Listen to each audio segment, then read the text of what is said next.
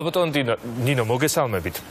საამშვიდობთ. კაბოტონ ნინო ხელისუფლებას ამ მიმართულებით არანაირი პოლიტიკა არ აქვს და არის სრულიად უნარო რომელიც ერთი მდიდარი კაცის თხოვნით და დაჟინებით ავირჩიეთ. მე რომ ყოფილიყავი ამ ხელშეკრულებას ხელი არ მოეწერებოდა. თქვენ განაცხადეთ ეს. რას ისამდით მაშინ თქვენ თქვენ ყოველთვის ამბობდით რომ რუსეთთან ლაპარაკია საჭირო მაგრამ ამას ცდილობდა ეს ხელისუფლებაც. რას გააკეთებდით თქვენ განსხვავებულად? უპირველეს ყოვლისა მინდა გიორგი ვთქვა რომ თუ დღევანდელი შოუს ამოცანა იყო თოქ-შოუს ამოცანა იყო რომ ძალიან ცოტა ხალხს ეყურებია ამ გადაცემისათვის და ნაკლები აქცენტი ყოფილიყო გაკეთებული აფხაზეთზე ასეთ შემთხვევაში ალბათ მიზანი მიღწეულია. ასევე შემიძლია გითხრათ რომ უცნაურია თავისთავად ის ფაქტი რომ ასეთ უმნიშვნელოვანეს საკითხთან ერთად იხილება მეორე საკითხი, რომელიც ბოლო 2 თვის თუ 3 თვის განმავლობაში მთავარ თემად იქცა, ეს არის მოსმენების საკითხი, რაც თავისთავად მნიშვნელოვანია, მაგრამ მე ამაზე ნამდვილად არ ვისაუბრებ, იმიტომ რომ არავითარი მნიშვნელობა არ აქვს არც კანონ პროექტს და არც ესე ვთქვათ გასაღებს, როცა პოლიტიკური ნება არ არსებობს, სისტემა შეიცვალოს. და ძალიან საინტერესოა თავად ის ფაქტი, რომ თქვენი ეთერის ლამის 1 საათი ეთმობა მიხეილ სააკაშვილს, ну გასაგებია ხა რუსთავიორის განსაკუთრებული ნაციონალური სიყვარული. სააკაშვილისა და ნაციონალური მოძრაობის მიმართ, მაგრამ აუცილებლად უნდა გავახსენოთ მოსახლეობას, როდესაც როდესაც სააკაშვილი უკაცრავად, როცა სააკაშვილი ამდენს ბედავს და როდესაც მას ეთმობა ეთერი და არ ახსენებთ მას იმას, როცა სამშობლოზე და სამშობლოს სიყვარულზე ლაპარაკობს და იმაზე თუ როგორ იბრძოდა ნაციონალური მოძრაობა და სააკაშვილი საქართველოს ოკუპაციის წინააღმდეგ, ძალიან საინტერესოა, რომ მას არ ახსენებთ მის გამონათქვა ნათქვამებს, როდესაც აგვისტოს ომის შემდეგ მან გააკეთა განცხადება, რომ საქართველოს არაფერი არ დაუკარგავს ქვების გროვის გარდაო და ეს ქვების გროვად იყო მოხსენიებული ის 114 სოფელი სამაჩაბლოსი, რომელიც დაიკარგა 2008 წლის აგვისტოს მოვლენების შემდეგ. ამ ხელისუფლების დამსახურება არის ძალიან ბევრი რა, მათ შორის ის სამწუხაროდ, რომ დღეს ამ ხელშეკრულებაზე გვიწევს ჩვენ საუბარი, იმიტომ რომ სააკაშვილი რომ გასამართლებულიყო სისტემა რომ შეცვლილიყო, რეალობა რომ შეცვლილიყო ქვეყანაში, ნამდვილად სრულიად სხვა ვითარება იქნებოდა.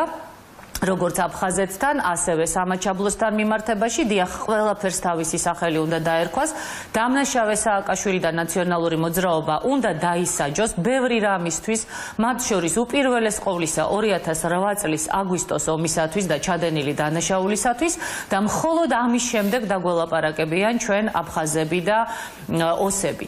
რაც შეეხება თავად ამ პრობლემას, ნამდვილად შემიძლია ვთქვა, რომ პრობლემა არის ის, რომ დიახ, ჩვენ ავირ აირჩიეთ და საქართველოს მოსახლეობამ სამწუხაროდ, ну, რაღაცა ნაწილმა აირჩია, რაღაცა ნაწილმა თავისი არ მისვლით არჩევნებზე ხელი შეუწყო ამ არჩევნებს.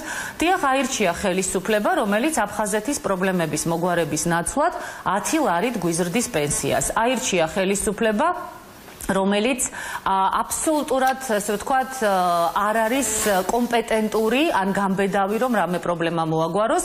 და ამ ხელისუფლებას საერთოდ არ აქვს. არც საშინაო და არც საგარეო პოლიტიკა. ეს ძალიან ათლა ჩანს. დღეს საერთოდ ხა ეს რა უბედურება გვჭირს ქართველებს? ნაციონალურმა მოძრაობამ 2008 წელს გვაზეიმა რუსთაველზე აგვისტოს ომის მოგება ჭყალებში მოგება რა თქმა უნდა ამბობდა რომ ომი მოვიგეთო. დღეს დღევანდელი ხელისუფლება გვეუბნება რომ თურმე ამ ხელშეკრულების გაფორმება რუსეთ რუსეთსა და აფხაზეთს შორის ასევე მოგება ყოფილა. ნუ ეს ეთყობა წყეულა, რომელიც რატომღაც საქართველოს და საქართველოს მოსახლეობას გვაქვს, ალბათ იმ შეცდომების გამო, რასაც ჩვენ ყველანი ერთად ვუშვებთ, როდესაც საარჩევნო ყუთთან მივდივართ და ვინმეს ხათრით ვაკეთებთ არჩევანს, ვინმეს ხათრით ვიღებთ გადაწყვეტილებას და არ ვუკვირდებით ხვალდაზე ამ გადაწყვეტილებამ რა შეიძლება მოიტანოს. დიახ, ჩვენი ხელისუფლების ბრალია და მე ნამდვილად ძალიან ბევრ ამეს სხვაგვარად გავაკეთებდი გიორგი? ის რომ დღეს რუსეთსა და აფხაზეთს შორის ხელშეკრულებას ხელი მოეწერა. ჩვენი ხელისუფლების კეკლუცობის ბრალია როდესაც ეკეკლუცება ჩვენი ხელისუფლება დასავლეთს ნატოს და ევროკავშირის წევრობასთან დაკავშირებით. სხვათა შორის ძალიან საინტერესოა რომ თქვენი ტელევიზია რომელიც ნამდვილად ძალიან კომპეტენტურია და ვერავინ ვერ მოასწრებს ხოლმე საერთაშორისო ახალი ამბების გადმოცემას როცა თქვენ ეს გჭირდებათ საერთოდ არ ახსენებს იმ განცხადებას, რომელიც გააკეთა რამდენიმე დღის წინ, სულ 2-3 დღის წინ გერმანიის საგარეო საქმეთა მინისტრმა ბატონმა შტაინმაიერმა, რომელმაც თქვა, რომ აბსოლუტურად გამორიცხულია ნატოში უკრაინის გაწევრიანება, ამაზე საუბარიც კი არ შეიძლება იყოსო.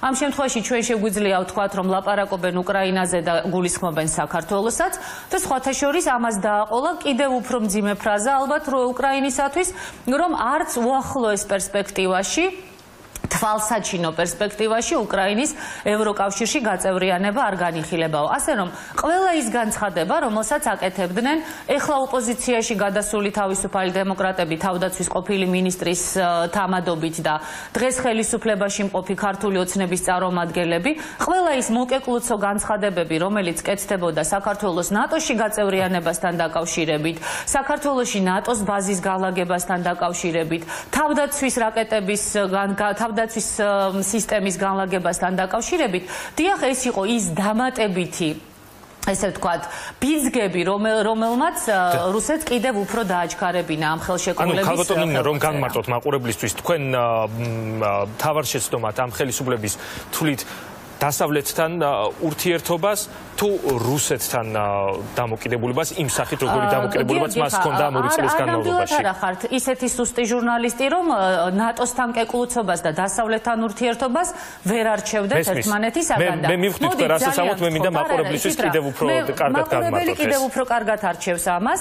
ერთი არის, როდესაც კეკლუცობ და როდესაც ილუზორულ ნატოს წევრობასში ცვლი ძალიან ბევრ ამეს და მეორეა დასავლეთთან ურთიერთობა. მე არასოდეს არ მithქვამს კიდევ ერთხელ ვიმეორებ, არასოდეს არ მithქვამს და არც ვიტყვი იმას, რომ ჩვენ დასავლეთთან ურთიერთობა არ უნდა გქონდეს.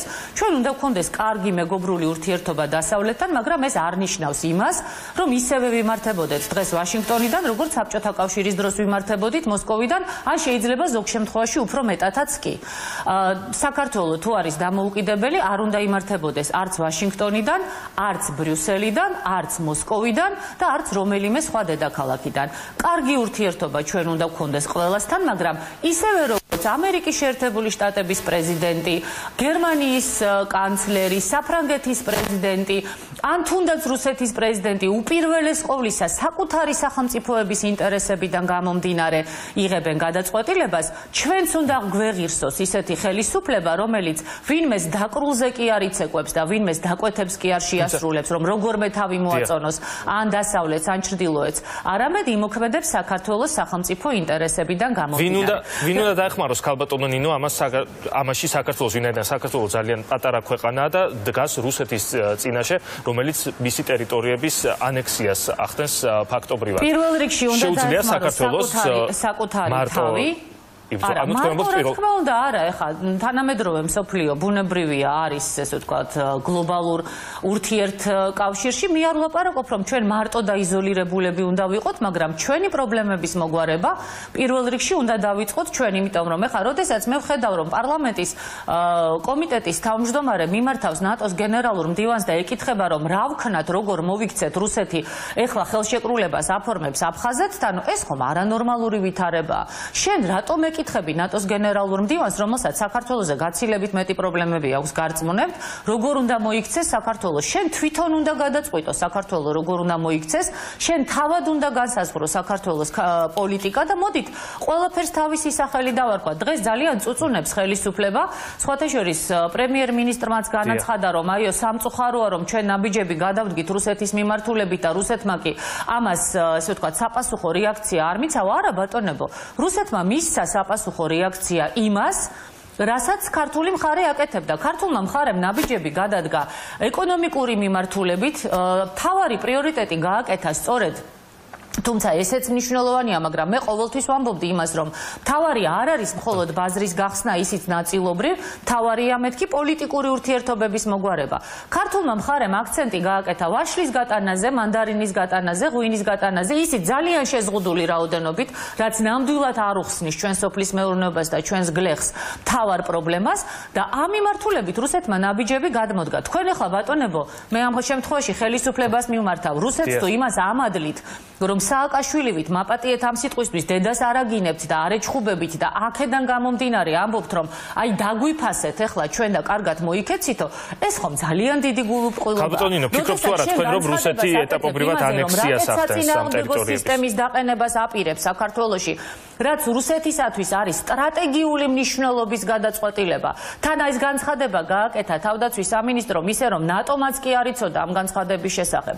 როცა შენ წინასწარ აცხადებ იმას, რაც იცი რომ რუსეთს რუსეთისთვის არის სრულიად მიუღებელი თან გადაწყვეტილიც კი არა გაქვს ეს და არანაირი გარანტია არა გაქვს რომ ეს მოგვარდება როცა შენ შეგნებულად ალბათ ნატოს საწვრთნელ ბაზას ხშირ შემთხვევაში უпроსტორად სასწავლო ცენტრს ეძახი ნატოს ბაზას და იძახი რომ საქართველო ნატოში გაწევრიანდება და ნატოს ნატოსთან კეკულცობის ერთ-ერთ გამოვლინებად თვლით. ბატონო, უკაცრავად. თქვენ ამასაც ნატოსთან კეკულცობის ერთ-ერთ გამოვლინებად თვლით?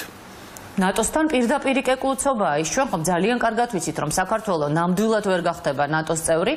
ეს არის აბსოლუტურად გამორიცხული. ხა უკრაინაზე გამოაცხადა გერმანიის საგარეო საქმეთა მინისტრმა კიდევ ერთხელ შტაინმაიერი აქ ამ გადაწყვეტილებას რა თქმა უნდა არიღებს რატო ხარ თქვენ ასე დაწუნებული რომ ნატოში რას ნიშნავს შტაინმაიერი? ამ გადაწყვეტილებას არიღებს გერმანია წინააღმდეგი იქნება და ნატო გადაწყვეტილებას მიიღებს რომელიმე წევრის გაწევრიანებასთან დაკავშირებით. გიორგი ნატოს წესდებას გადახედეთ. ნამდვილად ვერ მიიღებს. ნატო გადაწყვეტილებას მაგრამ ჯერ ერთი შტაინმაიერი მარტო ნამდვილად არ არის ამ გადაწყვეტილებაში. პირდაპირ შემიძლია გითხრათ და გარდა ამისა გერმანიას ნამდვილად ძალიან სერიოზული ხმა აქვს ნატოში. გადახედეთ როგორ იქცევა სხვა სახელმწიფოები. რა განცხადება გააკეთა ეხა ფინეთის საგარეო საქმეთა მინისტრმა?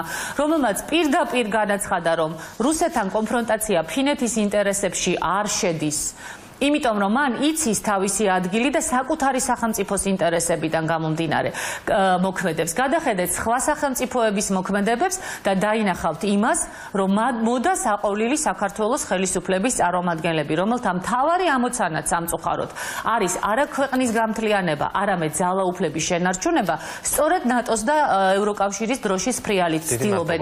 არა ქვეყნის პრობლემების გადაწყვეტას ერთი წამით გიორგი საკმაოდ დიდი ხანი ვიცადე და მე რამდენადაც ხედავდი ვიტყვი სხვა რესპონდენტებისთვის დრო შეზღუდული ნამდვილად არისო ხა რამდენად საინტერესოდ ვილაპარაკობს ამას მაყურებელი განსაზღვრა დრო შეზღუდული სამწუხაროდ ქალბატონო დაასრულოს რა თქმა უნდა. მაშინ განსაზღვრეთ რომ მეტნაკლებად იყოს პარიტეტი დაცული. ბატონო გიორგი როდესაც სააკაშვილი დამნაშავე პრეზიდენტი ლაპარაკობს საათობით თქვენ ეთერში როდესაც ოპოზიცია და სახელმწიფო ძალა რომელთაც საპარლამენტო ტრიბუნაც აქვს მუდმივად ესე ვთქვათ არიან პრივილეგირებულ რეჟიმში 10 მაგათ და 100 მაგათ ვიდრე არასაპარლამენტო ოპოზიცია თუნდაც, მაგრამ ოპოზიცია რომელმაც 10% მიიღო, ერთი წუთი დამითმეთ კიდე და ბევრს არ შეგაწუხებთ ნამდვილად. მაგრამ ეს დრო ძირითადად დაეთმოთ პარლამენტარებს, რომლებიც დღეს მოქმედი ხელისუფლების წევრები არიან. გისმენთ დაასრულეთ და დავასრულეთ.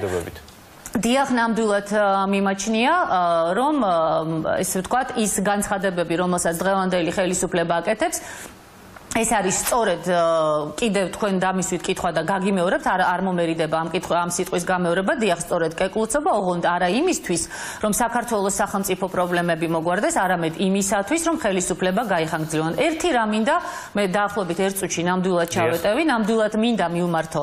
უპირველეს ყოვლისა ახალგაზრდებს მე არ ვიცი ახლა რამდენი ახალგაზრდა უყურებს ამ გადაცემას მაგრამ ვუთხრა რომ მათზე ძალიან ბევრია დღეს დამოკიდებული. ახალგაზრდებმა ძალიან კრიტიკულად უნდა შეხედონ არსებულ რეალობას და მინდა მათ ვუთხრა, ნუ აყლებიან მოდას.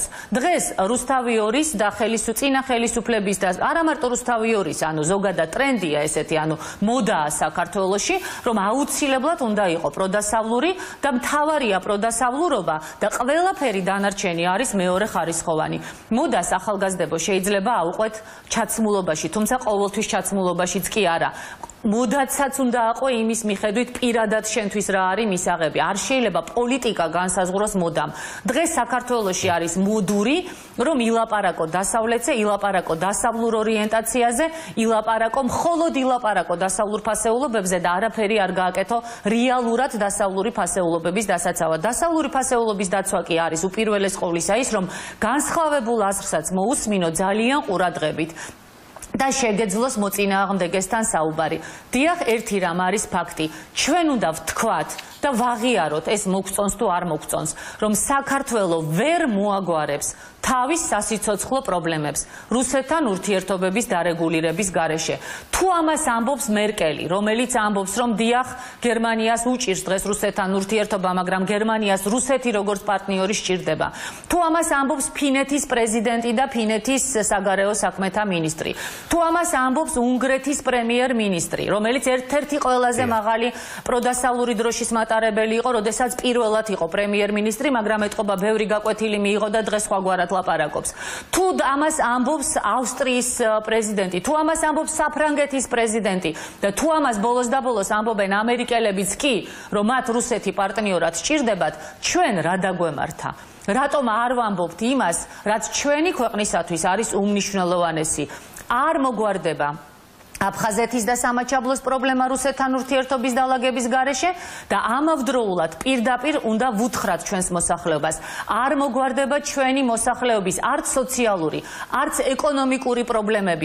ვერ იქნება საქართველოს მოსახლეობა ეკონომიკურად წელში გამართული აფხაზეთის და სამაჩაბლოს გარეშე. იქნება მოსახლეობის 5, მაქსიმუმ 10% დანაყრებული და მეტნაკლებად მდიდარი, დანარჩენი 90% როგორც დღეს არის შიმშილის ზღვა ზღვარზე 2/3 მოსახლეობის არის სიღარიბის ზღვარს მიღმა. ასე იქნება იმიტომ რომ აფხაზეთის და სამაჩაბლოს გარეშე მარტო დასავლეთთან კეკლუცობის გარეშე საკუთარი გეოპოლიტიკური და გეოსტრატეგიული ინტერესების გათვალისწინების გარეშე ქვეყანა სახელმწიფოდ ვერ შედგება დავრჩებით ტერიტორიად სადაც იბოგინებენ სახელმწიფო ძალები რომლებიც მხოლოდ საკუთარი ძალაუფლების შენარჩუნებაზე იზრუნებენ. დიდი მადლობა ქაბატონინო ნინო ბურჯანაძე გვერდებოდა პირდაპირ ეთერში